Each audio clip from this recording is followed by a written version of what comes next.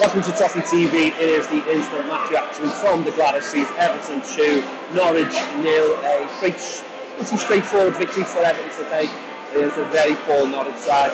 Um, but Everton made hard work at the time. It wasn't fluid performance, and obviously we had the penalty in the first half via VAR uh, after Allan was blocked. Um, we made really hard work in the second half, and it was just one decent move that got Doucouré in for the second goal. And I thought Norwich played some good football, but quite toothless. Um, they're going to go down. There's absolutely no no doubt of that. Um, it was just one of those games that you had to get through. Obviously, a patched up team, one dog running on absolutely nothing up front.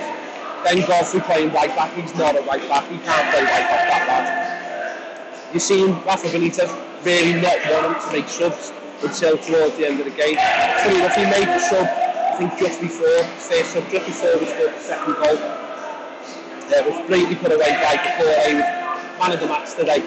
Uh, Jordan Pickford made one really, really good save from distance.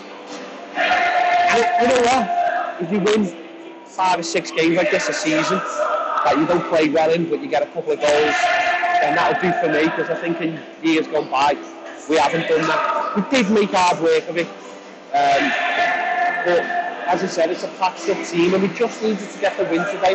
Been a lot of disappointment during this week regarding you know the losses and players out and that kind of thing. It was all about getting the three points.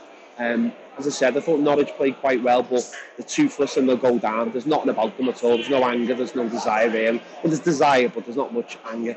Um, and we got through. We got through you know, patched up team. Digne, I thought did quite well considering he got a knock.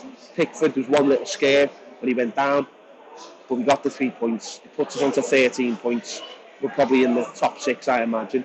Tough game next week against Man United, but Villa proved today they're, they're beatable. And we go on, and that's it. So let us know your thoughts in the comments. Make sure to check out my player ratings very soon and Baz's videos. And I'll catch us all later. Thanks for watching. See you later.